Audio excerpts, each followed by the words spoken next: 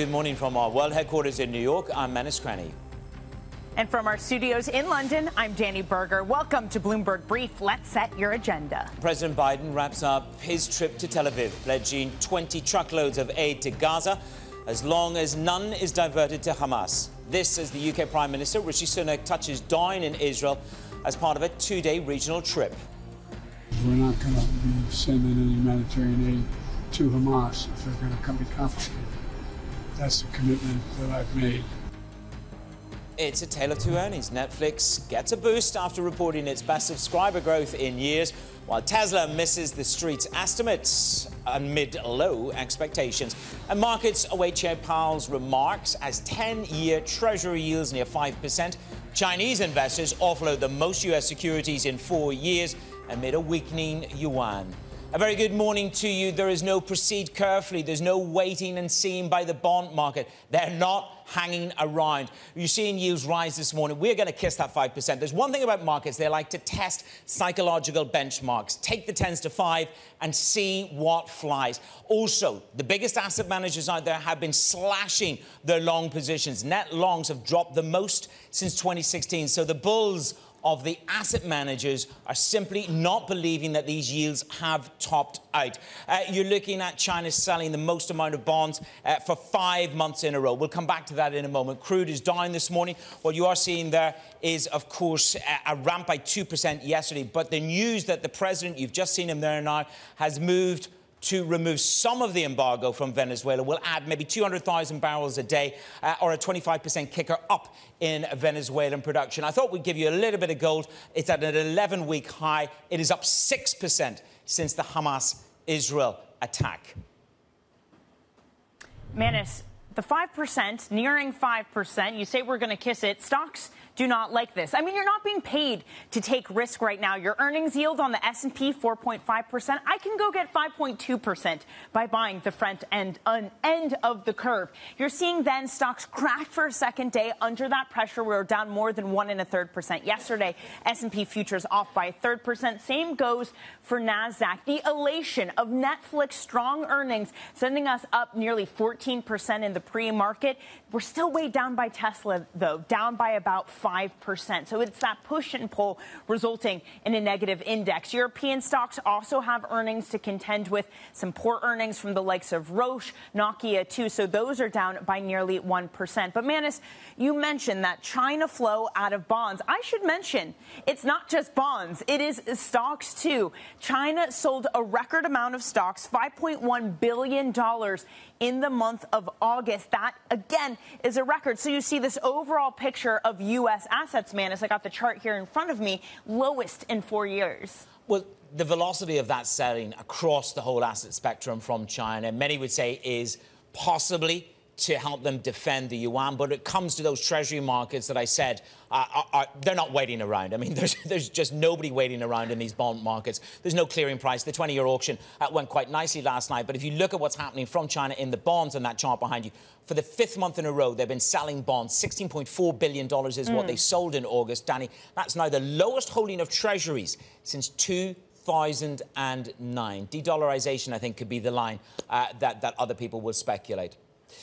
But let's yeah. reset. UK Prime Minister Rishi Sunak is the latest world leader to arrive in Israel. The UN Secretary General Antonio Guterres is due to Egypt later today.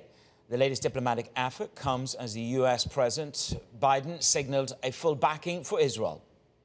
If Hamas confiscates it or doesn't let it get through, or just confiscates it, then it's going to end because we're not going to be sending any humanitarian aid to Hamas if they're going to come be confiscated. That's the commitment that I've made. And uh, so the bottom line is that um, uh, El Sisi deserves some real credit because he was very accommodating.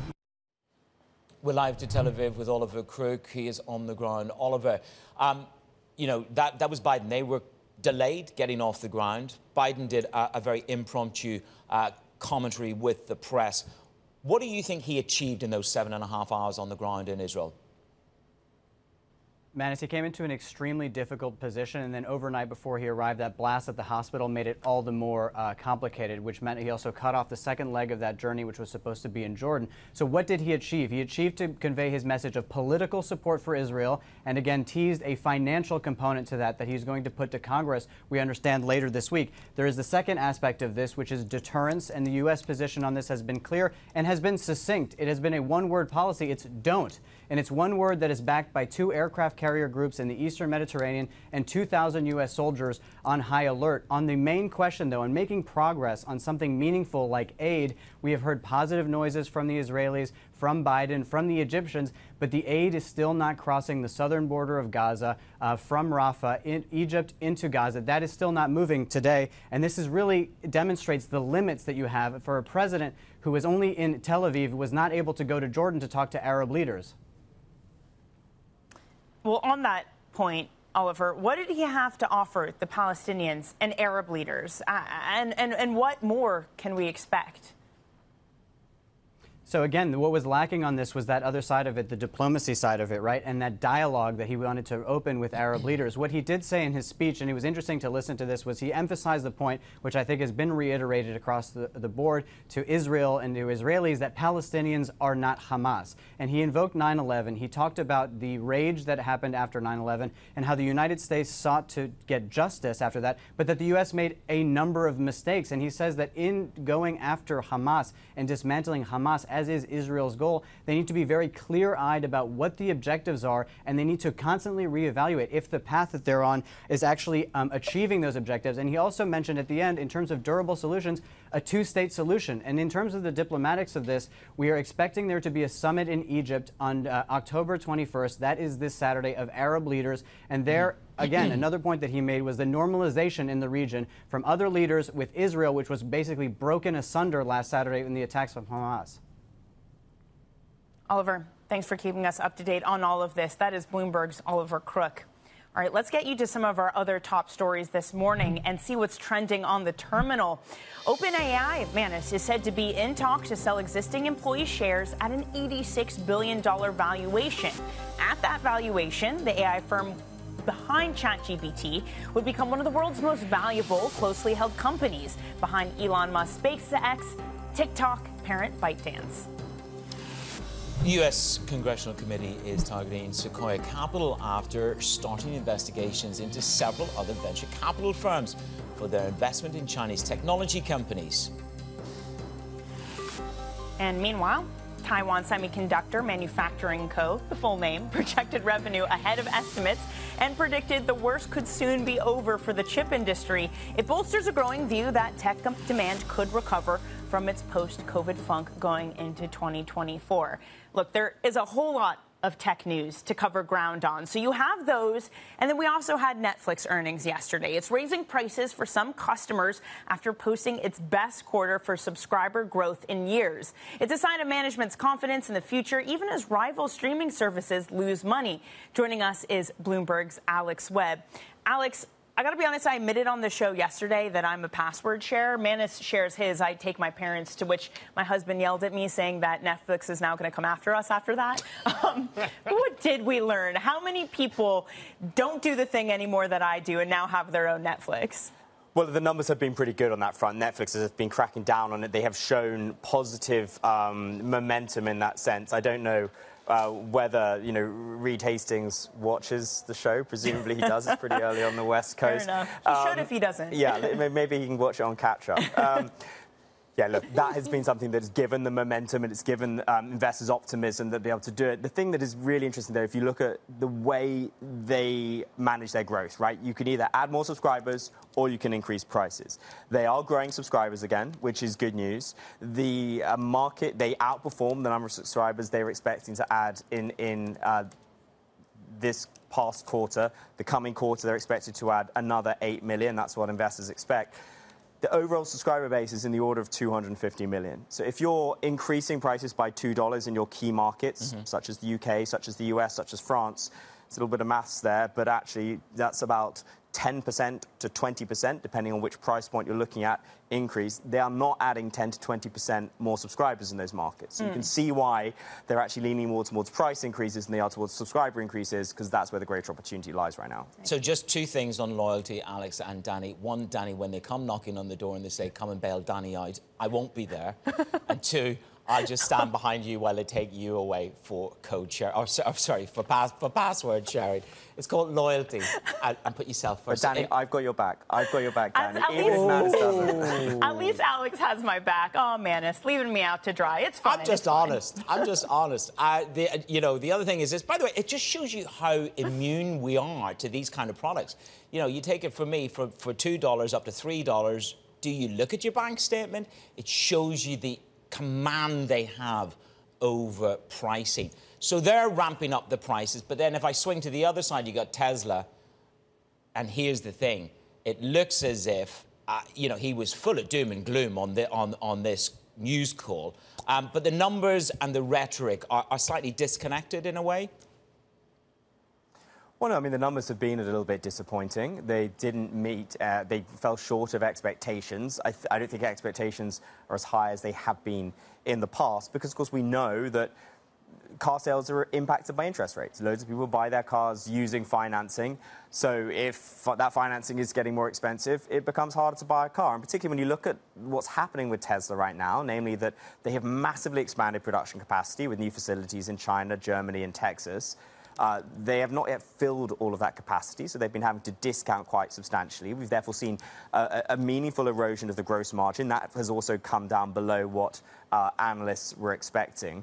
And then the mood music coming out of Elon mm. Musk itself it isn't too cheery. So it doesn't sound great for, for Tesla investors. Nonetheless, stock's down 5% in the, in the pre-market. Could be a lot worse. Yeah. Um, uh, the, the, challenge is what happens in the months to come. Yeah, and, and Alex, just, just quickly before we let you go, we also had Disney putting out some of their ESPN profit. Is this basically just to show it off? I mean, I don't know if show it off is the right word because it wasn't the best, but to get someone to buy this thing? Well, yeah, polishing it up and saying, hey, look at this cool new thing we have in our, well, not new thing, old thing we have in our window. Look, for a long time, there was an expectation that Disney would never sell ESPN because it's so cash generative, even if it's a declining business.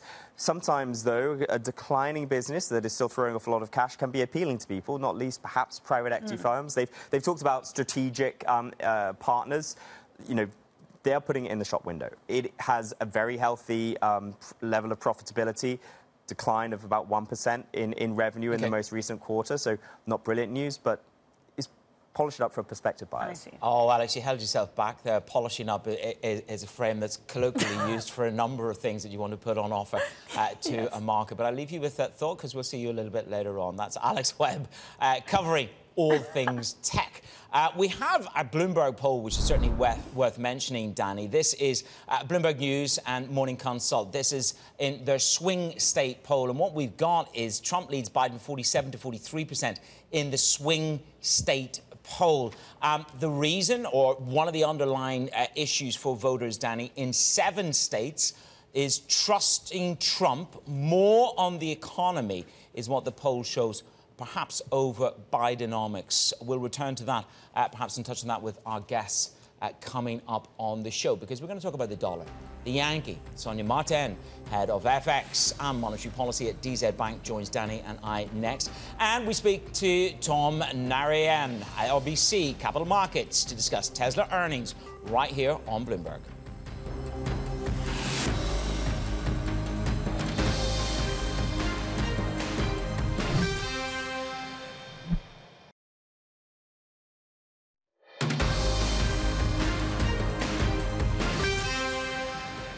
Be looking carefully at the data to see whether the real side of the economy begins to cool off or whether prices, the nominal side of the economy, heat up. As of today, it is too soon to tell. Consequently, I believe we can wait, watch, and see how the economy evolves before making definitive moves on the path of the policy rate. That was the Federal Reserve Governor Christopher Waller there on wait and see mode. Sonja Marten is the head of FX and monetary policy and research for DZ Bank. Um, the dollar's not exactly. I mean, if I look at the markets this morning, yields are not in a wait and see mode. They're not hanging around. The dollar still remains, for many, king dollar. In that wait and see rhetoric, does the dollar prevaricate or move higher? Good morning, Sonja. Good morning. Yeah, mean, it is interesting to see how bullish people have become on the dollar. If you look at recent commentaries, we've seen first parity, euro dollar parity calls out there. And when you look at the broader picture, you see that the dollar has performed really very much across the board. So it's not just against, you know, an economically vulnerable euro. It's really broad dollar strength. Um, I think it mainly has to do with the uh, with the whole U.S. economic optimism. I actually don't think it's that much of a safe haven argument at this point. I think mainly the dollar really benefits benefits from the view, increasingly widely held, mm-hmm. that the US is going to do uh, not even a landing, it's just going to continue to fly. Sonja, when we've had people come on the program with Manus and me, one of the arguments for not long dollar is just positioning, that we've built up this really heavy long dollar positioning. Should we care about that in these types of moments of economic growth and geopolitical strife? Well, when you look at eurodollar in particular, for example, you see that we had quite a large overhang actually of long eurodollar positions that has been unwound. So I, th- I do think positioning does matter. Uh, when the market is fully positioned, uh, there's probably not that much more benefit to be had in there. And I think in many ways that is true here. You know, people have become really optimistic on the US, uh, and I think they're ignoring the warning signs. I mean, I know I keep repeating this mantra, but it's true that I think the US economy faces some massive challenges. Maybe just at the time when people are sort of throwing the towel on the US slowdown story, it might just happen. I mean, you know, auto credits, 8%. You look at uh, rates on mortgages, they're sky high. I mean, this is bound to hurt. And I think this is where the big surprise is going to come from. And I think probably, you know, in a few weeks' time or a few months' time, we're going to have a very different story that we are telling. It's interesting in that Elon Musk talked about the PTSD that he had from 2009 and he talked hmm. about mm. high rates and people not being able to afford to buy new cars. That's the reality of 8%. People aren't moving flats, but uh, they're not moving flats, they're not moving houses. But here we are, rates and growth at the moment are underpinning the dollar. But then let's flip it over. You say it's going to pivot. Is that what saves the euro? It, it, it, it's, it's a drop in the dollar rather than and a surety in the euro that saves us from a demise below yeah. parity. I don't think the euro is going to save itself. I, I, agree with you on that. I mean, the situation in Europe is pretty dire. Uh, it will improve, but it's not going to be some sort of miraculous recovery. Uh, so it's going to be some moderate growth, a bit of an improvement from where we are today, but not massive. And I think it's the dollar side, which is going to be the driver of that move, because I think that, again, the discussion is going to change. You know, it's interesting how people are so focused on the Fed, you know, higher for longer. Uh, we're not really talking about the Fed cuts that are going to come next year anymore. But that discussion is going to change. And you know, always say, just remember that in the spring of this year, everyone was totally convinced that the Fed would be cutting aggressively this autumn, right now. Mm.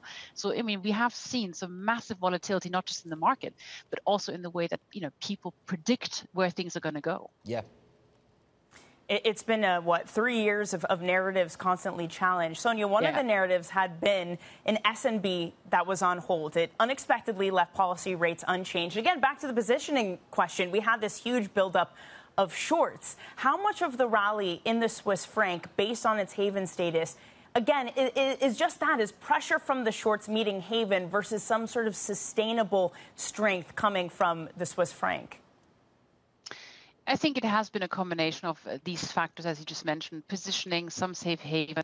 Um, but I mean, when you look at the broader picture and you look at what's happening elsewhere, I mean, I don't necessarily feel that we had a massive safe haven flow at this point. I think, you know, it always sounds a bit awful to say this, but the reality is that as far as financial markets are concerned, the situation in the Middle East right now is a ma- major risk, but it's very much a risk. I think people aren't, you know, necessarily pricing in a massive impact on the global economy or in inflation inflation. That would change obviously the minute we get a sort of more persistent rise in the oil price and if the, the, mm. the conflict widens and other countries get involved.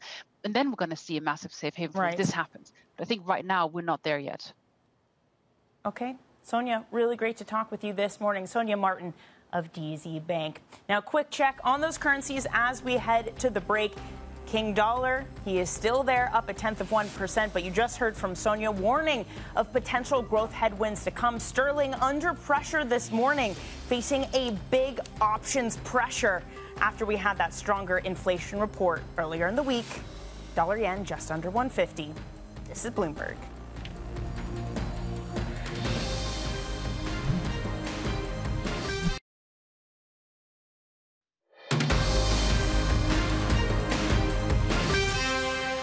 It's Bloomberg Brief. I'm Manus Cranny in New York, Dani Burger in London. The bond markets are definitely in a tetchy mood, Dani, right the way across. Five bips higher uh, for the US. The Chinese are selling bonds like Billio down for the fifth month in a row. They've been selling bonds. 16 billion is what they sold in August. There is no patience. There is no proceeding carefully in this bond market. UK gilts also pop a little bit higher by uh, four bips. And the Aussies, uh, well, of course, they're not to be outdone. Actually, the Kiwis, Dani, let me just put this to you. Apparently, it was technical difficulties. They had to cancel their auction. So these bond markets, they are not in a wait and see mood, are they? Good morning.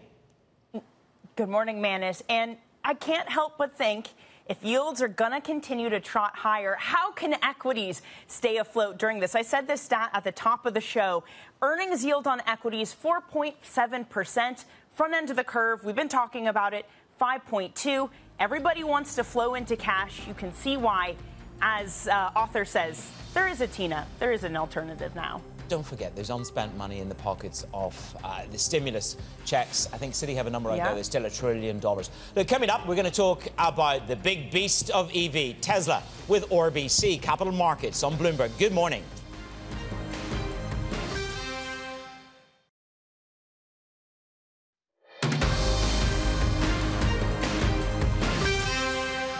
Welcome back to Bloomberg Brief. I'm Manus Cranny in New York.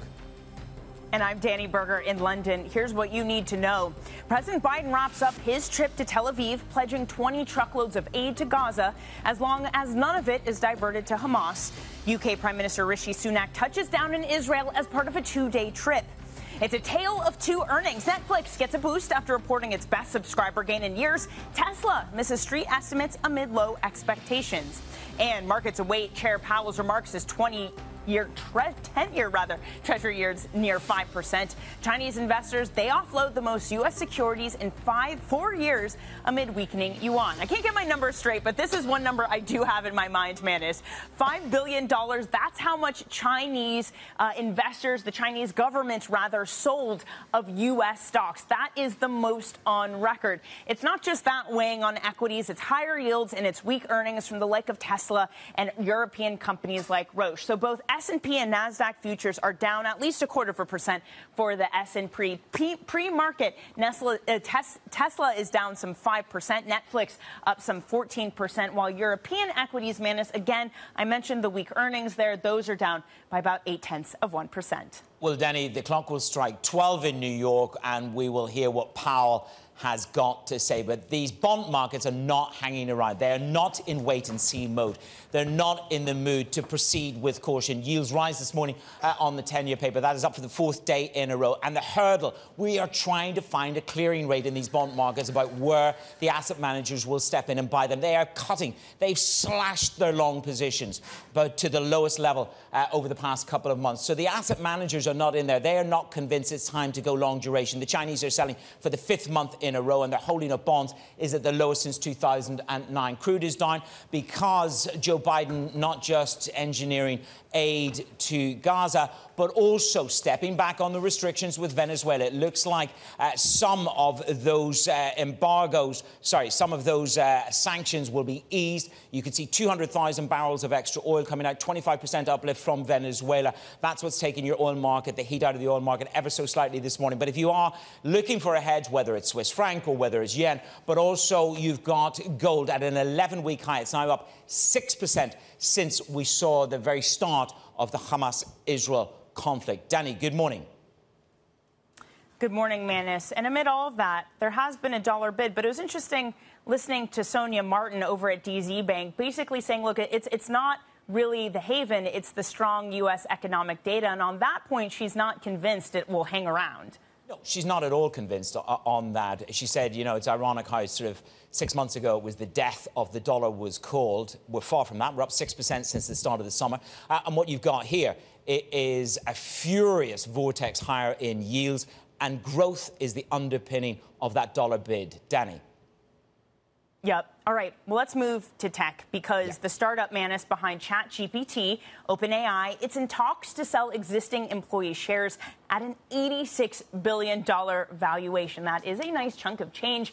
And it's according to people familiar with the matter. For more, Bloomberg's Alex Webb joins us. Alex, I know there have been rumblings of this. We had a range before, but $86 billion, I mean, that is a hefty valuation for OpenAI. Yeah, particularly given what we know about the earnings, which are uh, that it has sort of, or in August at least, a trailing 12 month, or is on track to generate a billion dollars in annual revenue. So it's trading, it's not trading, but it'd be valued right. at 86 times its historic revenue, which is meaningful even for hyper growth tech companies. And in terms of the investigation, Alex, we understand that the US are investigating Sequoia and what their involvement with China is. What can you tell us about that story? Yeah, so it's a congressional committee which is uh, asking questions of Sequoia Capital. It's one of the, you know, most storied uh, venture capital firms in Silicon Valley's, Valley has backed some of the biggest tech companies that we know today, going back best part of 50 years it is breaking its business up into three parts the US part, the China part, and the uh, India, Eastern Asian division. Uh, the thing that's really at the focus of the committee's attention is this China business, how it's directing capital into China, also what sort of expertise it might be lending these Chinese companies. Is it uh, affecting some sort of knowledge transfer into China. There's a huge amount of attention on this issue as a whole. Of course, Sequoia Capital will deny that this is the case, um, but that is what is the focus of this congressional questioning. Just to put a bow on all this and other Asia tech, we had TSMC earnings, so they cut their full year capex, they miss estimates, but also see healthier growth in 2024. What does this market care most about?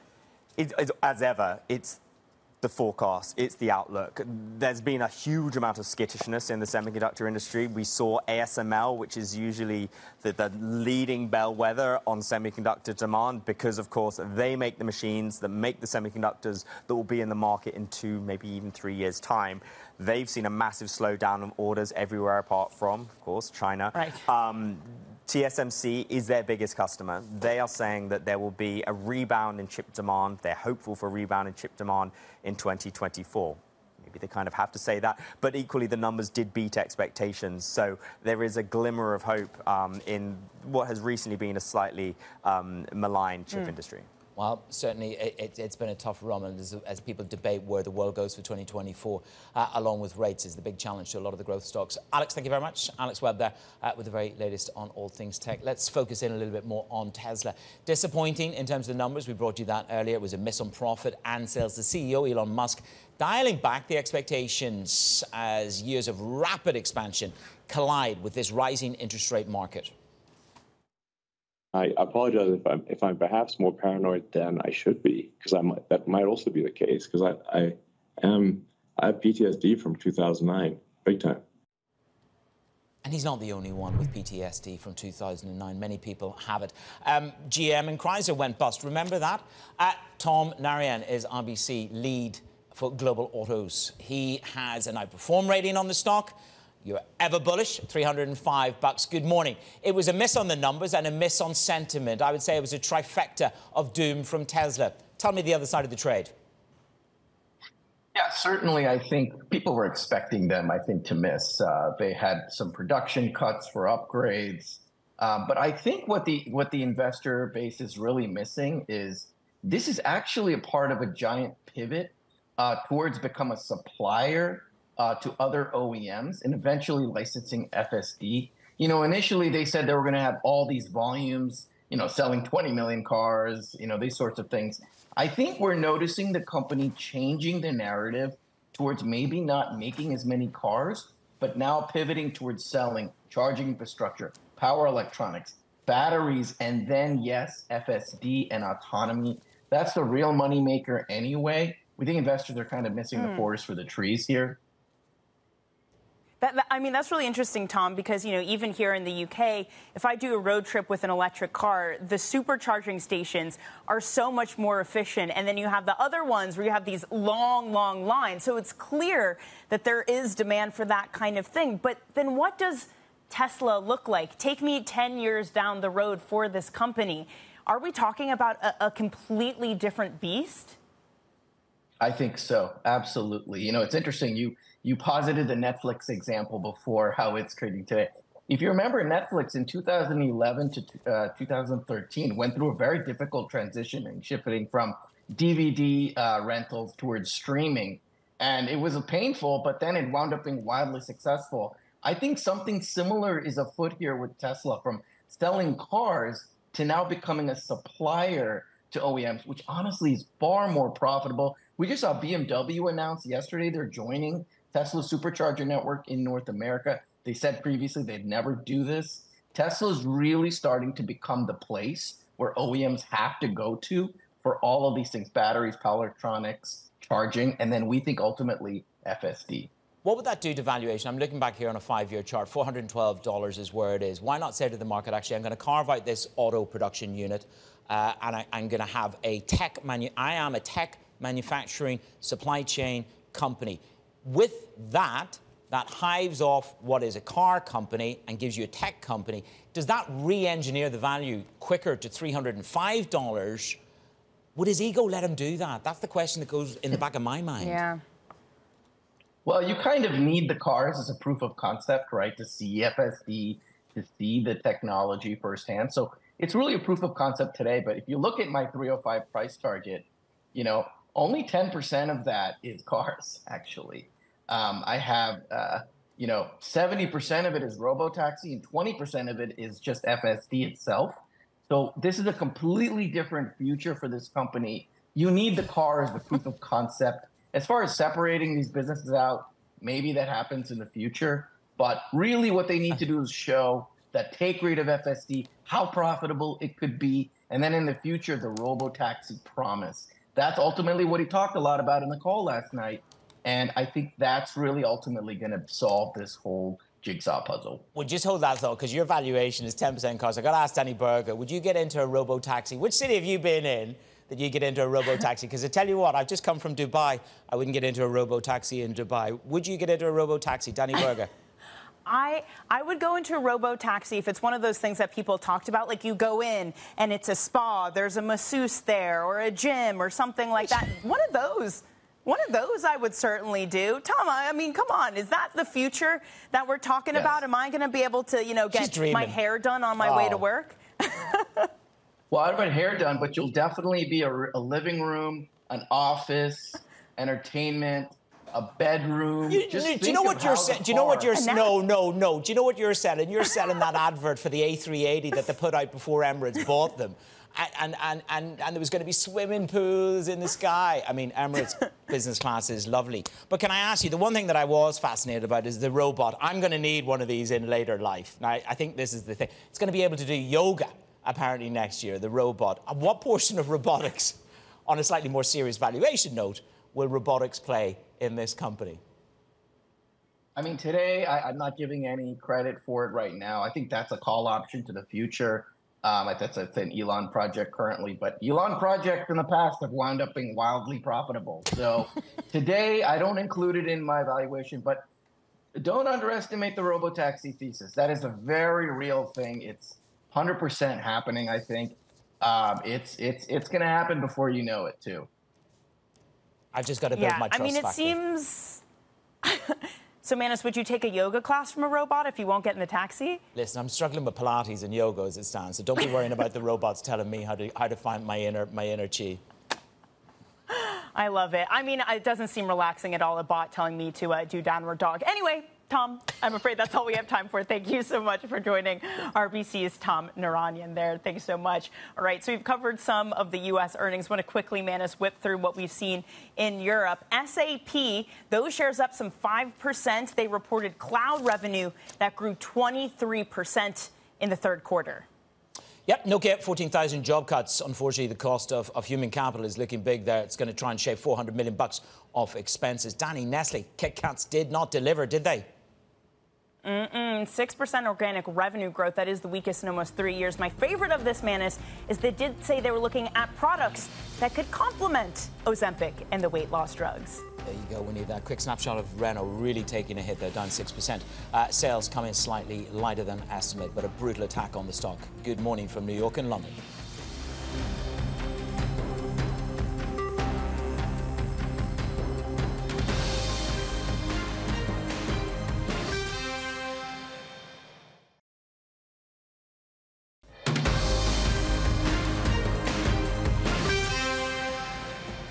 No person having received a majority of the whole number of votes cast by surname, a speaker has not been elected.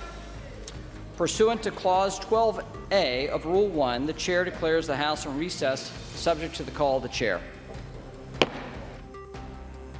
That was the interim House Speaker, Patrick McHenry. Joining us now is Kate Ackley, Bloomberg government. She's up early, tracking Jim Jordan. I mean, the numbers are getting worse for this man rather than progressing for him.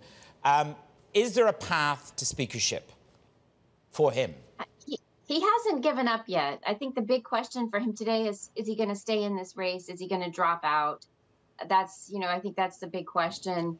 Um, he, you know, the the second ballot yesterday was worse than the first the day before, so it's not looking smooth for him. If not Jim Jordan, Kate, then who?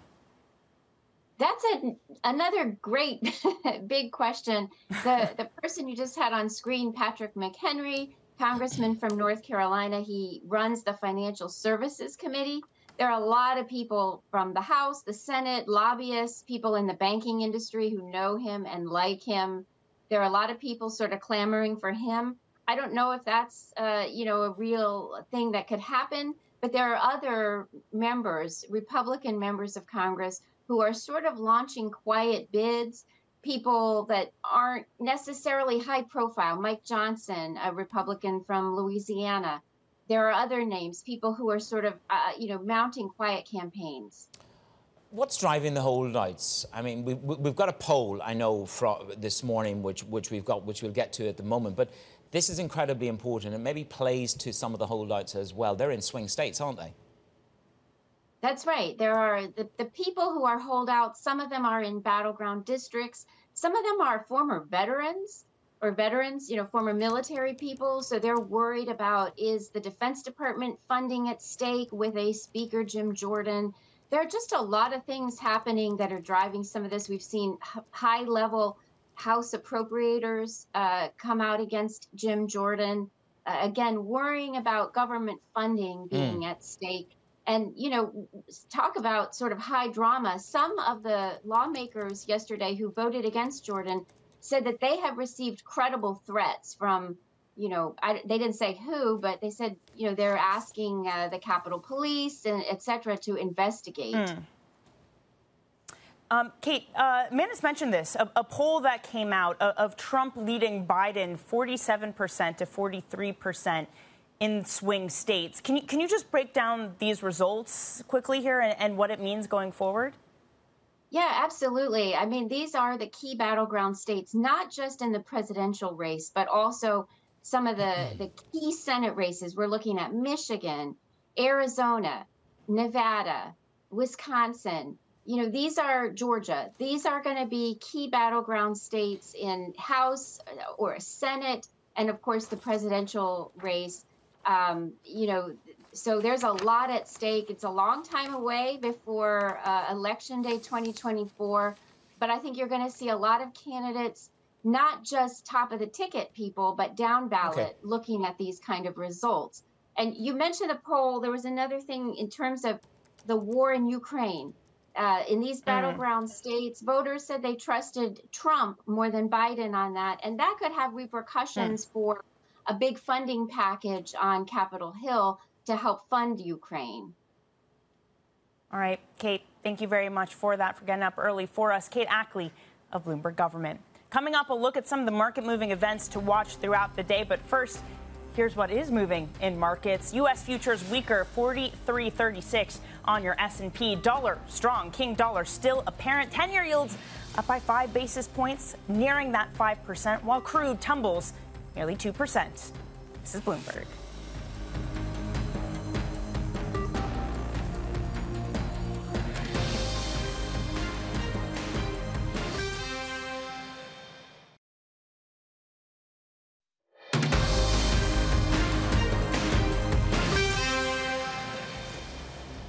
Welcome back to Bloomberg Brief. I'm Dani Burger in London. Manus Cranny is in New York. Let's get you set up for your trading day with a look at what's ahead. We'll get U.S. initial jobless claims 8:30 a.m. Eastern. That will be followed by existing home sales. Those hit at 10 a.m.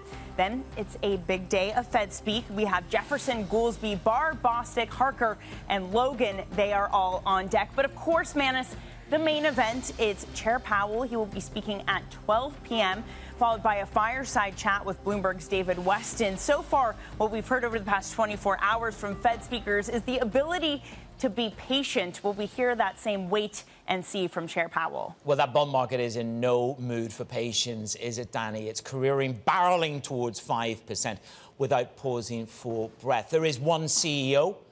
He is the front cover of the big take, and it is, of course, Ermotti. Uh, he took over at Credit Suisse. He's reasserted his position as the UBS CEO. It's the second coming, so to speak. And of course, it's a CEO in a hurry. That's a picture of him in Davos just a couple of years ago when he was stepping down, his last interview. Uh, and then, of course, Tom Naratil, who was with us last week, who is the CFO, saying it's a Hollywood cast. This is the reincarnation of UBS Credit Suisse. And I think, Dani, this is a CEO who knows how to de risk a bank, change an investment bank, as they've got here in the US. It's different at home in Europe. But of course, he's done this before. He has form, magnificent form. The stock is up a third since he sat in the hot seat again at UBS. Well, we know it's what like a matter of months until Netflix makes this into a movie uh, of some sort. So, the Hollywood, you know, the Hollywood cast. Maybe.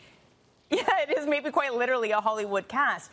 And, and look, it's, it's not just Ermotti, which of course this piece focuses on. It's also Chair Colm Kelleher, who has made it no secret that he thinks the company should be valued higher, maybe as high as Morgan Stanley, where he spent a good portion of his career. They want to move into the U.S., they want to move into U.S. wealth management. But, Manus, we did get Morgan Stanley earnings yesterday, that part of the business didn't look so good. New assets were the lowest in more than three years for Morgan Stanley. No, but look, there's many Europeans and, and, and, and Swiss have come here. I mean, Brady Dougan ran Credit Suisse for many years, the American who, who did more transatlantic mm. flights than most. UBS has 2,000 wealth advisors here. Morgan Stanley has 16,000. That And the cost, one of the, one of the underlying issues here for UBS in the United States of America is the cost to income ratio is higher here than it is in Europe. But that burning ambition, which is to be the dominant force. Deutsche Bank tried, HSBC tried. I'm not saying they failed. That's for greater minds than I. But this is Ermotti, hmm. and the question is, does he come to New York on a charm offensive for the institutional shareholders? Is that what Colm Kelleher brings? The super sauce to UBS. That's part of the Hollywood cast, isn't it? Irish and Swiss. Yeah. Perfect. Yeah. well, you know, as part of this, as they push into the U.S., Manus, I'm, I'm expecting you to, to tell me what's going on. I'm, I'm, you're you're going to take up that mantle. I hope you know. Um, look, in other earnings, yes. shall we touch on Netflix and Tesla quickly here? Because if you look at the pre market session for these two, you couldn't be talking with, by more than two different verging fortunes here. You have Netflix gaining what, some 14%, Tesla, it's down nearly 5% in the pre market. Yeah, I mean, I think Netflix have managed to put up the prices. You didn't even notice the price going up, did you? Your purse is so full of cash and swag, you just didn't uh, even notice yeah, that sure. they put it up by a buck. I've noticed it went from $2 to $3. Uh, you see, I, am more, I'm not as immune to pricing as you, Ms. Burger. That's it for the proof. Surveillance is up next. Good morning from New York and London.